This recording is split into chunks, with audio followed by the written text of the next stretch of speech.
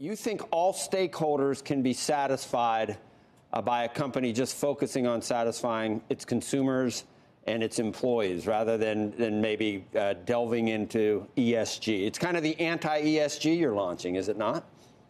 Well, I, I, find it difficult to be anti ESG when I, when I find it very difficult to even define what ESG means today. But here's actually what we do stand for is a message to corporate America to focus on excellence over politics.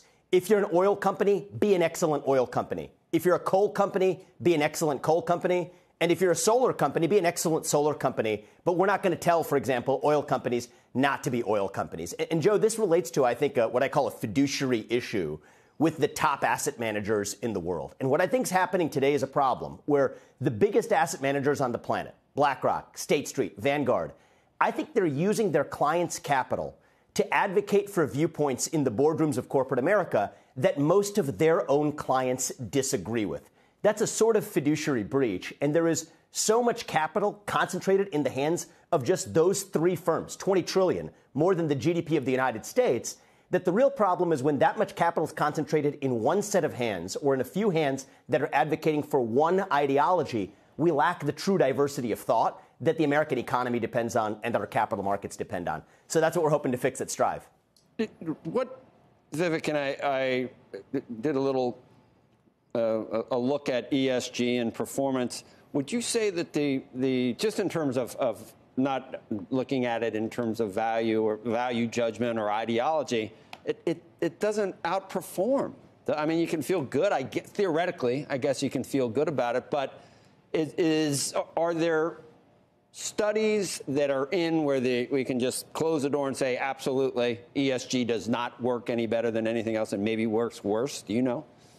Yeah, well, look, I think there is, it's clear that there's no evidence that ESG outperforms. Despite the claims made by some of the world's largest asset managers and their CEOs, there's no evidence to support that fact. Of course, people on both sides of this debate are going to cherry pick data to support their own views. But our perspective at Strive, and my personal perspective, is that many of the underlying companies are actually performing more poorly because of what these large shareholders, and I use shareholders in quotes because it's not really their money, it's the money of their clients, but what these large asset managers are telling these companies to do. Exxon actually suffered a, a proxy battle that caused it to reduce its oil production. I think Exxon would be a more successful company today if it were actually drilling for more oil than it was before BlackRock and engine number one told Exxon to go in a different direction.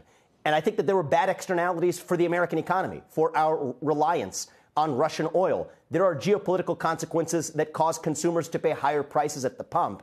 And part of what we're exposing is the fact that it's the money of everyday American citizens that's being used to advance this ideology that most of them actually disapprove of. And that's a disconnect that we have to address. And one way to look at it, Joe, is if you got the CEOs of Exxon, Shell, Chevron, and ConocoPhillips in a room, say, and they coordinated to say we're going to reduce gas production and gas prices spike as a result, that'd be the stuff of movies. There'd be handcuffs, people would be locked up on antitrust violations.